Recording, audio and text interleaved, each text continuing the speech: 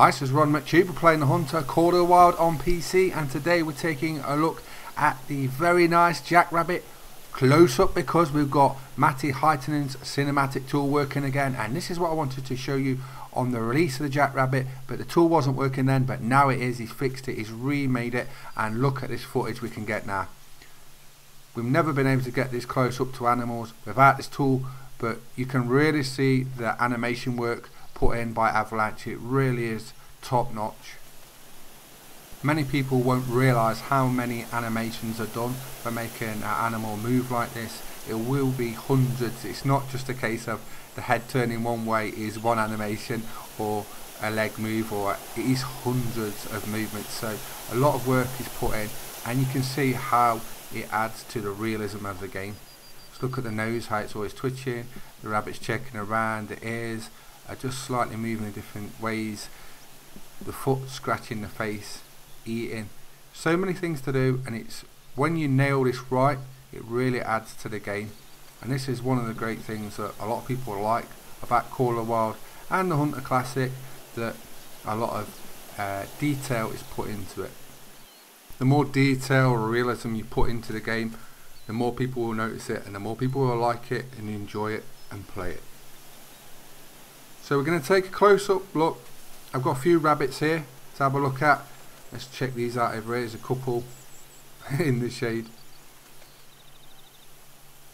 If you want to see any other animals, put it in chat because I will be filming quite a few of the animals. I might even film them all and put them into a little montage or we can do each one individually.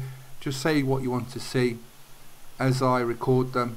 I recorded quite a few already. Uh, I'll sort out uh, either like I say, singular videos or we'll do a montage and try and get all the animals in. We can cover all of them across the ranges as long as nothing happens to the camera or something breaks it.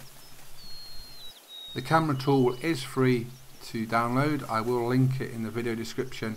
A lot of people use it for getting screenshots because you can get the most beautiful screenshots showing off the game. I was posting some on Twitter and Facebook yesterday asking people what animals they wanted to see or anything and then going out and getting some. And it's like this, look at this. What a perfect setting. We've got a rare moose behind us, we've got the rabbit up close how I wanted it, got the deer on the left, perfect scenery. It's this camera, it really does add to the game.